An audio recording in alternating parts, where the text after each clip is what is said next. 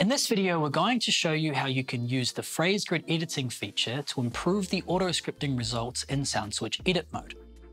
When you auto-script a track in SoundSwitch, it analyzes the beat grid and the energy within the track to automatically break it down into its basic song structure, including intros and outros, middle and bridge sections, as well as main 1 and main 2 sections. Main 1 and main 2 sections represent verse and chorus, but depending on the way the track has been produced, these are interchangeable. Once SoundSwitch has automatically detected all of these different phrases, it will apply lighting effects specific to each phrase. For example, you'll get different lighting effects on an intro than you will on an outro. The phrase grid editing feature allows you to go through and recategorize these different sections or adjust them. You can then re-auto script and you'll get a different result, hopefully one that's better and tailored to your liking.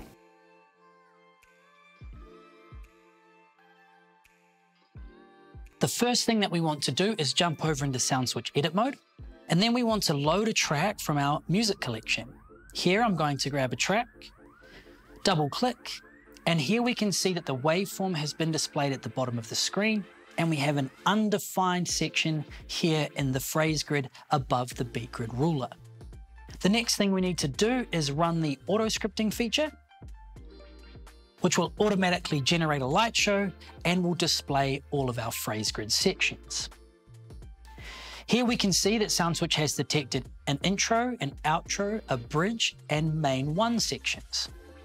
To create a bit more variety in the track, let's go through and edit this phrase grid to improve the lighting output generated by the auto scripting feature.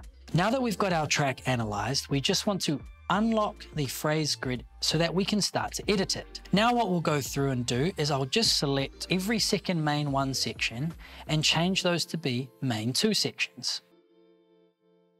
I can also split or merge two sections, again by selecting and then right clicking.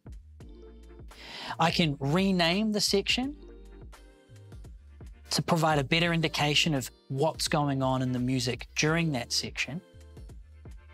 And then I can also go through and select all of these main one sections, right click and select disable scripting.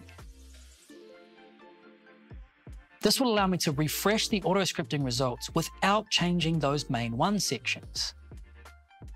So if I refresh the auto scripting by selecting this refresh button here on the right hand side, only the main two, outro, bridge, and intro sections will change, while all of our main one sections will remain the same. This is helpful if you then want to go through and re-auto script with a different preset. And now those lighting effects will only be applied to the non-disabled sections. This is a really good way to protect the parts of the track that you do like and to easily auto script the parts of the tracks that you would like to change or improve.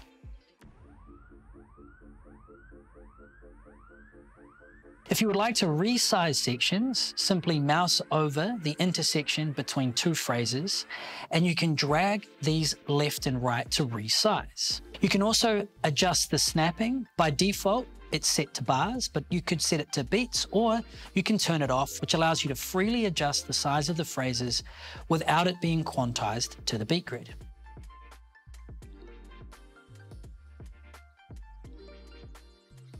You can also enable and disable all, as well as invert the enable scripting. So here we can now go through and auto script with a different preset, just our main one sections.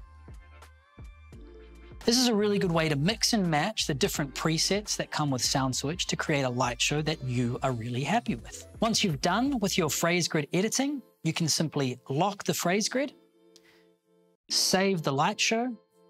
Now you're ready to load that track into your DJ software and get your custom light show played back in time with your DJ performance.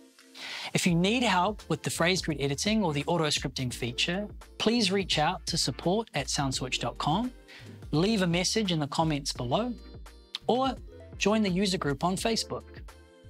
Thanks, and we'll see you in another video.